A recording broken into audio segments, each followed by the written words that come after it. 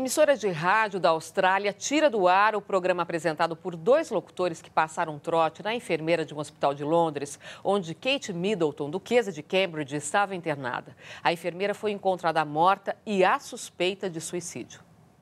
Os apresentadores da rádio de Sydney, na Austrália, telefonaram para o hospital londrino, fazendo-se passar pela Rainha Elizabeth II e pelo Príncipe Charles. Supostamente, eles queriam notícias de Kate Middleton, mulher do Príncipe William, que havia sido internada para exames depois de sentir tonturas por conta da gravidez. A enfermeira de origem indiana e portuguesa Jacinta Saldanha passou as informações e só muito mais tarde soube que se tratava de um trote. Um dia depois, ela foi encontrada morta num aparente suicídio.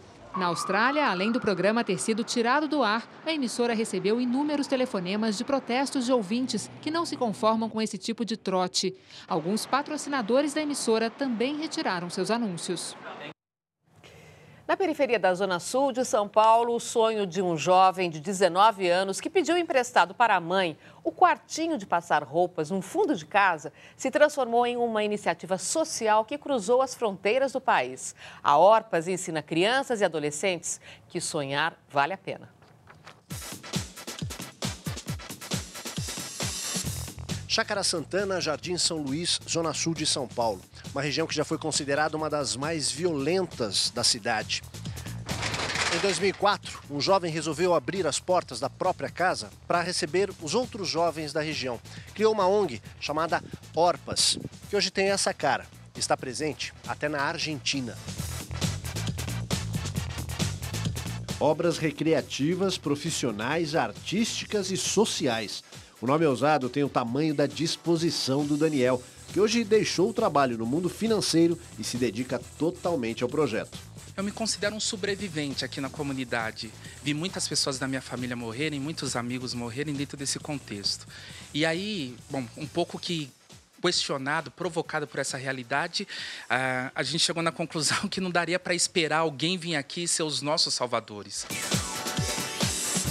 No antigo quartinho de passar roupa da mãe do Daniel, agora reformado, hoje está a sala de informática, com 10 computadores doados. A ordem aqui é aproveitar cada centavo e cada centímetro. O imóvel aqui tem três pavimentos. Aqui embaixo é informática e aí em cima funciona a sala de robótica, que atende 40 alunos divididos em turmas de 5. Você programar ele, o quanto mais alto você falar, ele vai andar mais rápido. Esse daqui também é o sensor ultrassônico. Ele também serve para uma das programações dele, que é reagir à distância. Você aprende outras coisas também? Sim. O que, por exemplo? É, movimento retilíneo uniformemente variado. Que é... Movimento o quê? Movimento retilíneo uniformemente variado. Meu Deus, o que é isso? É quando um corpo sofre aceleração constante. Que, exemplo, tem, ele vai daqui, você programa o robô daqui até aqui. Nesse trajeto, ele vai aumentando a velocidade. E também tem um movimento retilíneo uniforme, que é quando ele termina o trajeto na mesma velocidade que ele começou. Você está em que série? Eu estou na quarta série. Sabia que isso é tema de é assunto de matéria de colegial? O pessoal vai saber isso só no ensino médio? Não. Mas dá para aprender. Dá para aprender. É só se esforçar. A Orpas está sempre em movimento acelerado. Já atendeu mais de mil crianças, jovens e adultos desde 2005 e hoje atinge 300 pessoas da Zona Sul de São Paulo. Está até em Córdoba, na Argentina, onde replica o modelo de protagonismo social pelos próprios moradores de áreas carentes. E recebe gente de outros países que quer aprender a fazer a diferença lá no seu pedaço. Eu acho que é um crescimento pessoal muito, muito grande, porque eu vou voltar para Lima cheia de muitas, muitas eh, experiências novas e muitas ideias novas também. O intercâmbio já é conhecido há muitos anos, há muitas décadas na classe média. O que eu acho maluco é a gente colocar pobre para fazer intercâmbio. A gente já tem aqui uma dúzia de pessoas que teve a oportunidade de circular Noruega, Finlândia, Venezuela, Argentina, por conta de parcerias que a gente desenvolve com a União Europeia e cooperação com outros projetos sociais pelo mundo.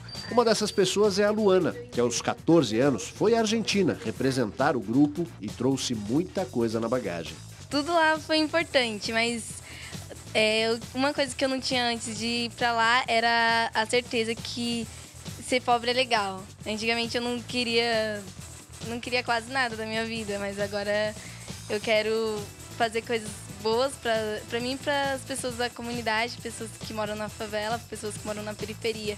Uma dessas coisas é o microcrédito e a adoção de uma moeda própria do bairro, que eles criaram para manter a riqueza lá mesmo. A moeda social é muito simples o funcionamento. Qualquer pessoa pode vir aqui na Orpas ou comprar algum produto, ou se quiser, inclusive, trocar dinheiro pela moeda. Porque um real é uma moeda Orpas.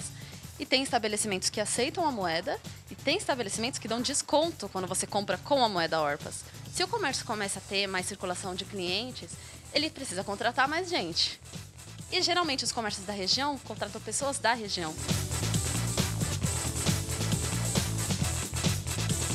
O que começou com a doação do quartinho de passar roupas e do tempo do Daniel, hoje se mantém graças a doadores que garantem o trabalho.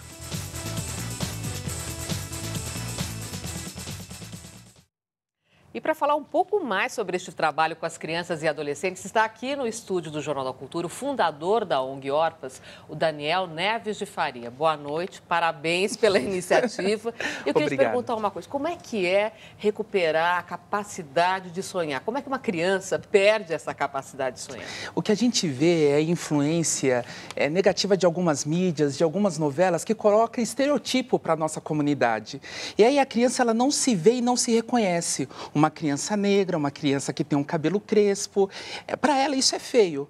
E, esse, e, esses valores vão invertendo. A gente traz essas crianças para dentro desse ambiente e mostra que ser negro é legal, que ser pobre é legal. Obviamente que eu não estou falando viver abaixo da linha da pobreza, mas carente todo mundo é. E na periferia há uma carência financeira como na, em outros meios, em outros setores econômicos, há outros tipos de carência. Vocês valorizam a questão da dignidade dessas pessoas. Exatamente. E, e, fazer com que essa criança ela entenda que o pai dela é o herói dela, aquele pai que é um operário, que acorda, que enfrenta um ônibus cedo e vai trabalhar, que a mãe dela, mesmo trabalhando ali como doméstica, como diarista, ela é uma das maiores heroínas que poderia ter. Então, fazer com que a criança ela reconheça aquilo que está mais próximo dela uhum. e dê valor a isso.